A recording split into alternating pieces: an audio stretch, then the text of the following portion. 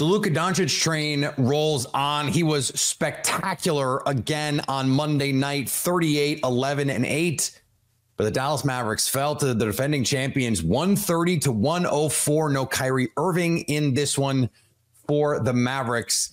Nick Angstadt from Locked On Mavs joins me now. And, and Nick, this has been a, a feel good story, I would say, in a lot of ways for this Mavericks team to start the season, um, exceeding a lot of people's expectations for them but it feels like they're bumping their head up against the ceiling uh, of this team, and we saw it on Monday night.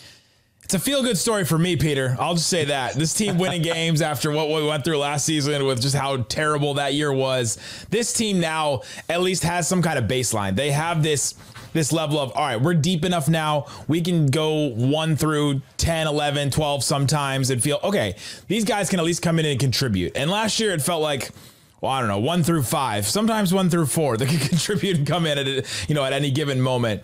And so now this team is very injured right now. They're without Kyrie Irving. He's been out for five games. Dereck Lively is a rookie that's so integral to this team. I mean, he, his defense has been so integral to what makes this Mavericks team as good as they are right now. His offense has been a lot better than people thought. I mean, he's had statistical games, points, rebounds, blocks, all that that he hasn't had that he didn't even have in college, and he was a number one player coming out of high school. And so you, you take all that, and you, you're missing some of that in this game. Denver is just better than everybody else. They have a level of offensive and defensive chemistry from playing through to the NBA finals and winning to, you know, just being together for years and years now that other teams like the Mavericks just can't match, especially when they're undermanned like this.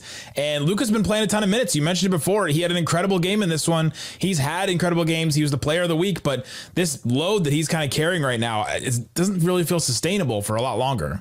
Yeah, and and he had 38. No other Maverick had more than 11 and Dante Exum was the one that had 11. No one else had double digits that was the scoring burden that he had to shoulder in this game. Uh, this raises the question, I think, and I'm sure it's something that you've been talking about.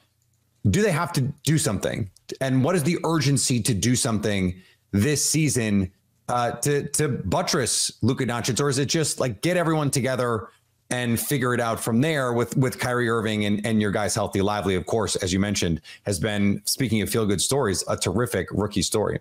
Amazing, amazing story. The question though is do something to do what? What do you what do we expect yeah. this Mavericks team to do? Like where do we expect them to go this season? My my thing this whole season, even before the season started, even before some of the surprise feel good stories like Lively and Derrick Jones Jr. and Dante Exum that you mentioned before, even before some of those things started to pop up, we started to feel good about this team. I said, this team can't catch Denver.